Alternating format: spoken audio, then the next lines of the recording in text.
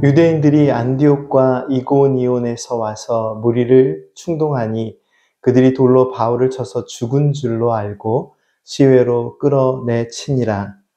제자들이 둘러섰을 때에 바울이 일어나 그 성에 들어갔다가 이튿날 바나바와 함께 더베로 가서 복음을 그 성에서 전하여 많은 사람을 제자로 삼고 루스드라와 이고니온과 안디옥으로 돌아가서 제자들의 마음을 굳게 하여 이 믿음에 머물러 있으라 권하고 또 우리가 하나님의 나라에 들어가려면 많은 환란을 겪어야 할 것이라 하고 각 교회에서 장로들을 택하여 금식 기도하며 그들이 믿는 주께 그들을 위탁하고 비시디아 가운데로 지나서 밤빌리아에 이르러 말씀을 버가에서 전하고 아달리아로 내려가서 거기서 배 타고 안디옥에 이르니 이곳은 두 사도가 이룬 그 일을 위하여 전에 하나님의 은혜에 부탁하던 곳이라 그들이 이르러 교회를 모아 하나님이 함께 행하신 모든 일과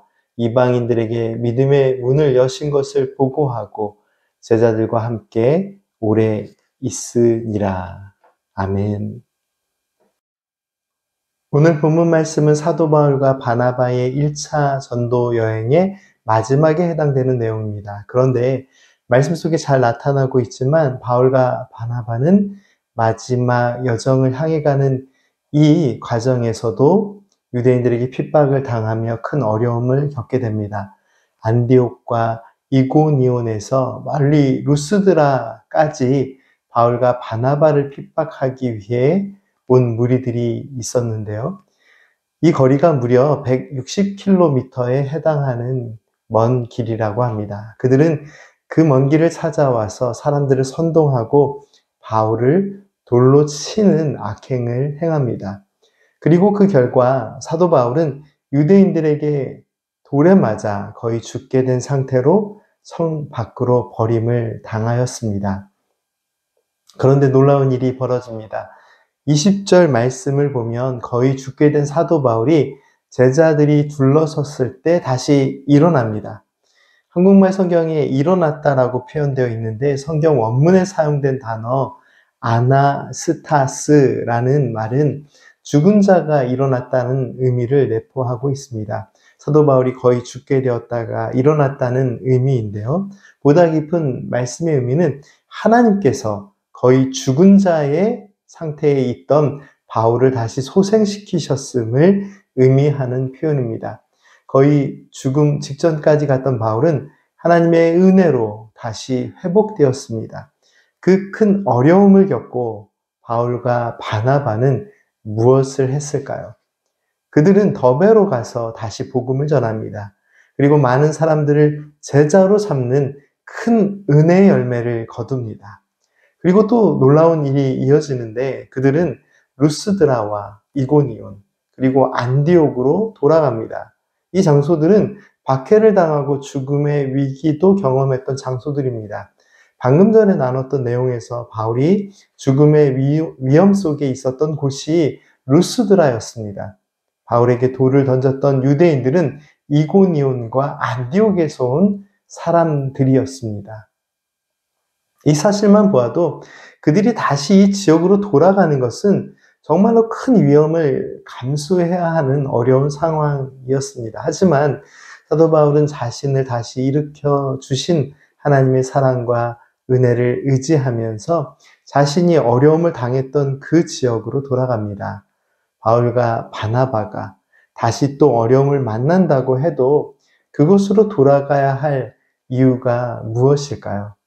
그곳에는 지난 선교 여정 동안 자신들이 전한 복음을 듣고 예수님을 믿는 믿음의 사람들이 그들을 기다리고 있었습니다.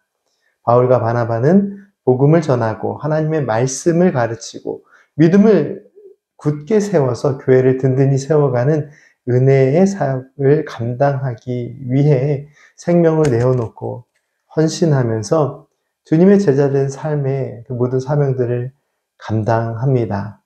24절부터 14장의 마지막 절 말씀인 26절 말씀은 바울과 바나바가 안디옥으로 향하는 여정에 대한 간략한 설명과 함께 안디옥에서 행한 일이 무엇인지를 설명하고 있는데요.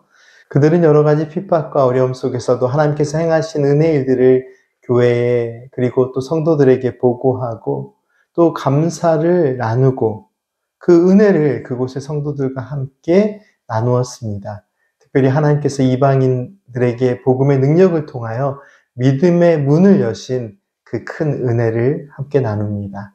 27절과 28절 말씀 다시 한번 읽겠습니다. 그들이 이르러 교회를 모아 하나님이 함께 행하신 모든 일과 이방인들에게 믿음의 문을 여신 것을 보고하고 제자들과 함께 오래 있으니라. 이 말씀 속에 분명하게 드러나 있지만 바울과 바나바는 그들의 선교 여정 속에서 하나님께서 행하신 모든 일을 성도들과 함께 나눕니다.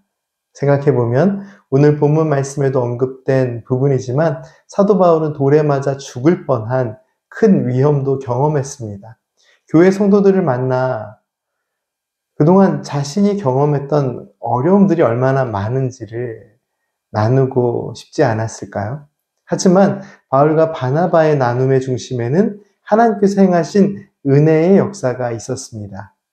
믿음의, 믿음의 사람은 언제나 하나님께서 함께 하심을 먼저 기억해야 합니다. 그리고 하나님께서 함께 하시면서 이루신 일들에 대한 은혜를 나누는 것을 놓치지 말아야 함을 사도들은 잘 보여주고 있습니다. 사랑하는 성도 여러분, 믿음의 삶을 살아가면서 경험하게 되는 여러 가지 이야기들이 있습니다. 오늘 우리는 삶 속에서 어떠한 이야기들을 나누며 살아가고 있습니까? 힘들고 어렵고 괴로웠던 삶의 이야기이든지 또는 기쁘고 행복하고 즐거운 삶의 이야기이든지 우리의 모든 삶의 순간 속에 함께 하시며 은혜 길로 인도하시는 하나님의 은혜에 대한 감사의 고백을 놓치지 않는 믿음의 성도님들이 되시기를 바랍니다. 바울과 바나바가 그들의 삶의 여정 속에서 하나님께서 함께 하시며 행하신 모든 일들을 기억하고 감사하며 은혜로 나누었듯이 오늘 우리의 믿음의 삶에 하나님께서 함께 하시며 행하신 모든 일들에 대한 온전한 감사가 고백되어져야 함을 하나님의 말씀은 우리에게 가르쳐 주십니다. 함께 기도드리겠습니다.